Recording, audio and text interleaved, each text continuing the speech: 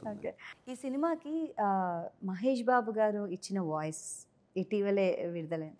చాలా మంచి అట్మాస్ఫియర్ అనిపిస్తుందండి తెలుగు సినిమాకి ఇప్పుడు. అంటే మా మల్టీ స్టార్ సినిమాలు వస్తున్నాయి.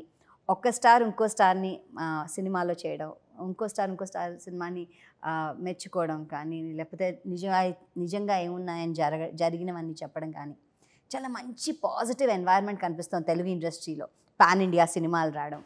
ఇంత మంచి అంటే ఒక్కసారిగా మనం golden era of Telugu cinema celebration time వచ్చిందని మాకు మళ్ళీ అనిపిస్తుంది ఈ ఈ తరాన్ని వాళ్ళకందరికీ. సో మహేష్ బాబు గారు చెప్పడం ఈ సినిమాకి ఎలా జరిగింది? అది ఎవరి ప్రయత్నం? అది శివగారిదే అవునా? ఆయనే చెప్పాలి. అంటే నేను first the first two minutes so there is a back story for the temple town ఆ కథ చెప్తూ ఆ వరల్డ్లోకి తీసుకెళ్ళాలి. సో డెఫినెట్లీ ఒక నోన్ వాయిస్ ఒక అంటే స్టేచర్ ఉన్న పర్సనాలిటీ చెప్తేనే ఆ కథలోకి వెళ్తామని ఫస్ట్ నుంచి అనుకున్నాను నేను. సో ఊరికే నేను చిన్న మహేష్ గారిని సరే ఇట్లా ఆచార్యకి అంటే మా చిరంజీవి గారి సినిమా అండి. Because.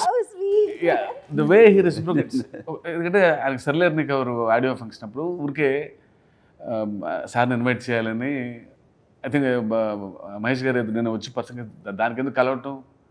ఫంక్షనే కదా ఫంక్షన్ వచ్చేస్తున్నా అన్నారు చాలు ఒక మెసేజ్ చాలు దానికి వచ్చి. పర్సనల్ పిలవాలా?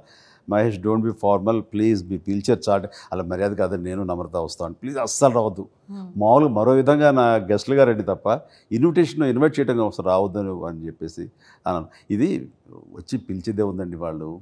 మనం ప్రమేయం వాళ్ళు కోరుకుంటున్నప్పుడు వెళ్ళటం అనేది బాధ్యతగా మనం ఫీల్ అవ్వాలి. అది సంతోషించదగ్గ పరిణామం.